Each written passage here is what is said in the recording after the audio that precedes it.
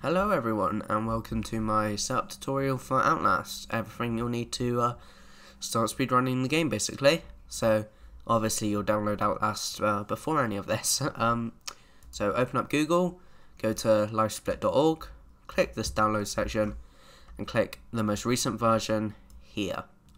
Oh, so once that is all installed, all good and all that, you want to go into your downloads folder and it should be here and it should be in a nice little zipped folder. So double click on it and then click livesplit.exe then extract all. Now we click browse our C drive or where we want to save it create a new folder called livesplit. I've already done this so uh, I won't do it again and then you'll click it and then save and all that. So once you've done that, we will, I will just go to it quickly actually. Uh, yeah, that's right, uh, low Livesplit. And then here, it should be, you should have this little symbol here, but don't worry if you don't. As long as you click it and it comes up with this or a shortened version of this, which sort of just looks like this bottom part, it doesn't really matter. So, right click, edit splits, game name, type in Outlast here, or Outlast uh, Whistleblower or whatever. Uh, run category, type in the one you want, so I'll do all chapters. Actually, I'll do any percent just because it's a bit shorter to type out. So any percent, like that. I'll just deactivate that because that's not supposed to be activated yet. So you want to click game time here, segment name, and then you want to type in your segment name. So let's just do Bush, insert below. And then after that, you've got, let's say, uh, rest in peace, Chris. And then we have Renicky. I'm pretty sure that's how you spell it. Don't uh, thrash me if that's not how you spell it. Uh, then we will want to try um, Valve 1 or just Valve actually, you don't need to put that. And then Superman, and then let's just have end. Now, once you've got all of that stuff typed in, click this, which like it says auto splitting and load removal are available by MapMap. Thank you for that. Click activate, click settings, and then I uncheck this split box just so it doesn't split when you don't want it to. Click OK, click OK, and you've got this lovely little box, or these lovely times here. Now right click, you want to, where is it?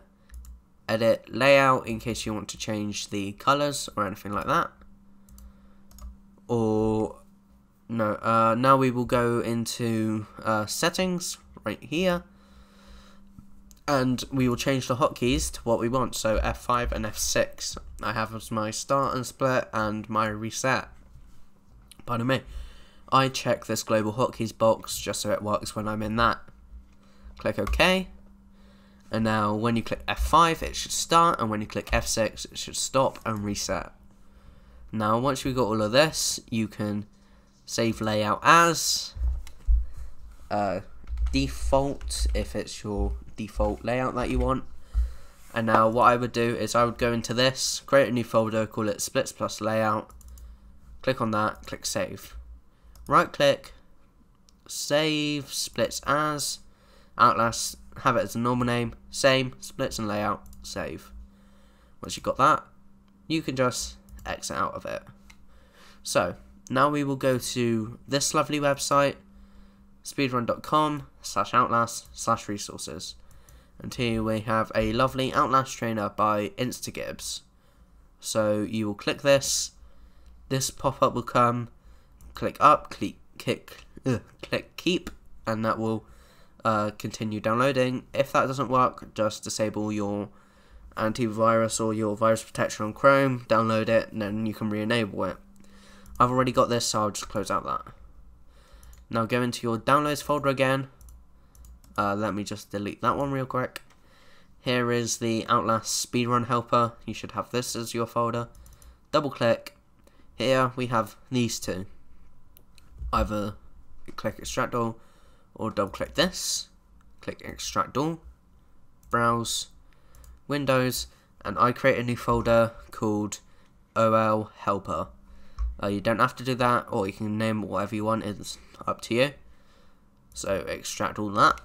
Once you have extracted everything, you will go into your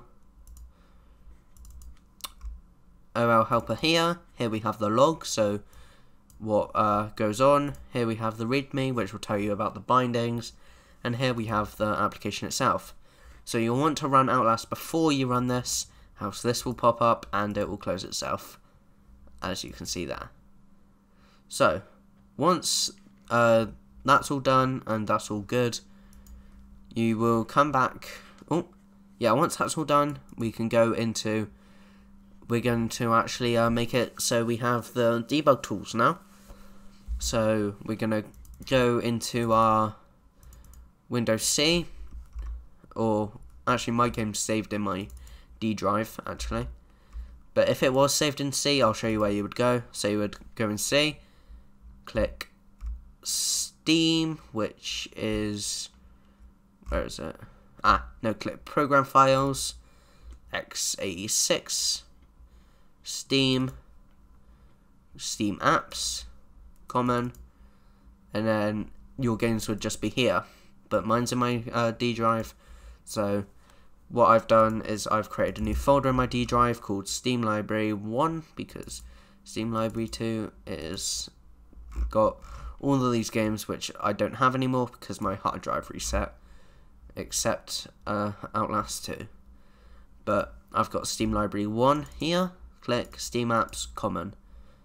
So the same thing again. Here's Outlast.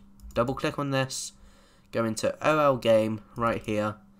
Now go into config and default input.ini.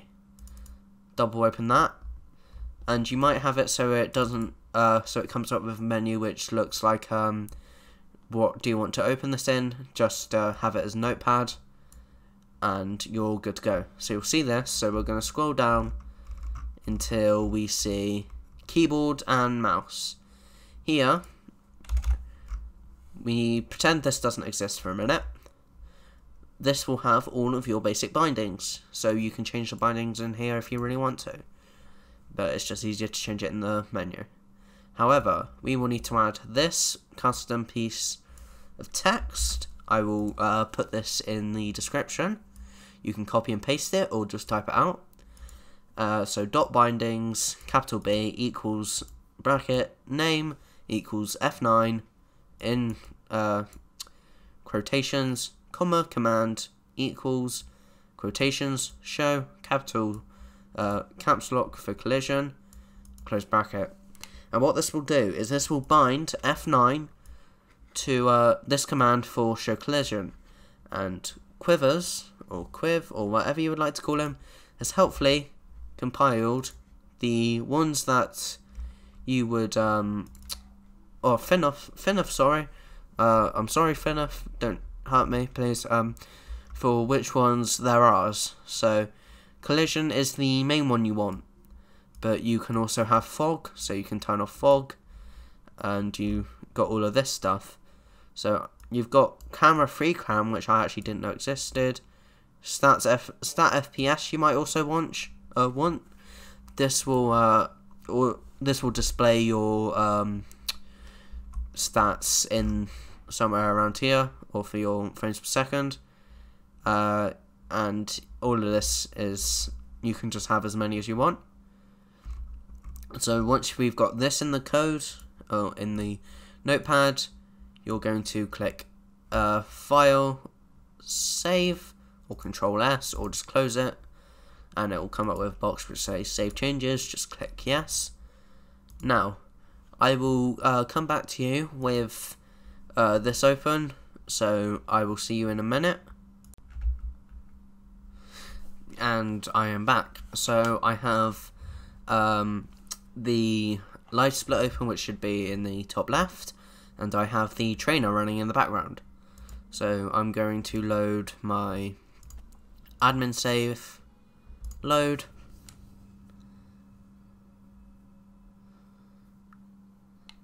And yeah, so started the game, that's all good, and you can jump around and all that.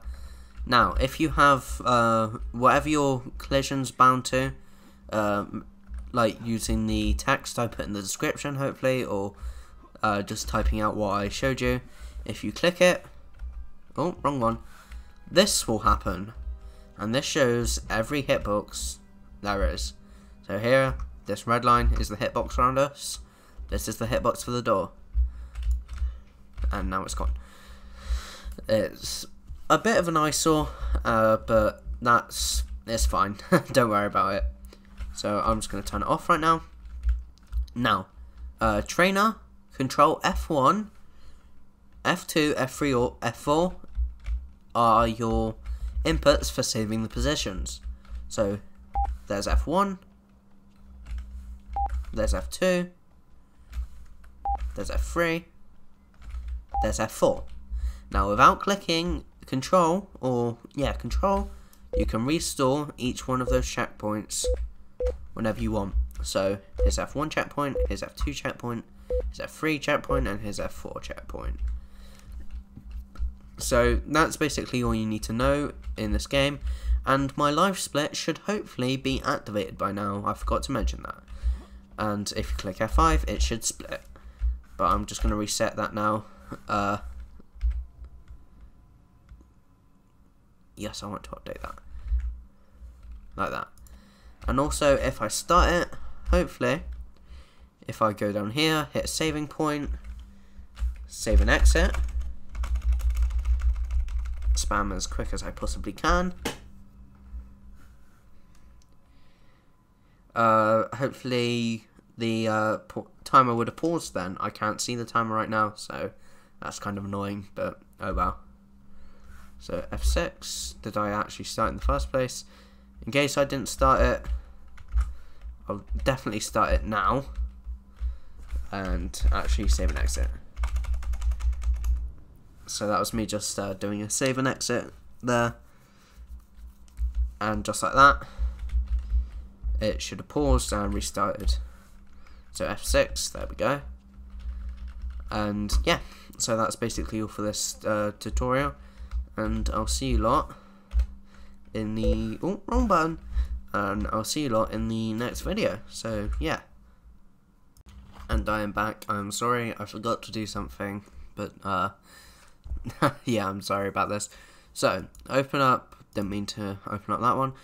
Uh, go into your files and go to your Outlast folder click OL game config and at the bottom here you see default UI.ini double click that, scroll right to the bottom, and here change this value to true. Close, save, and what that will do is that will uh, basically change it from the original bland names to uh, actually represent where you truly are. So yeah, I am sorry about that, and I will see you in the next video.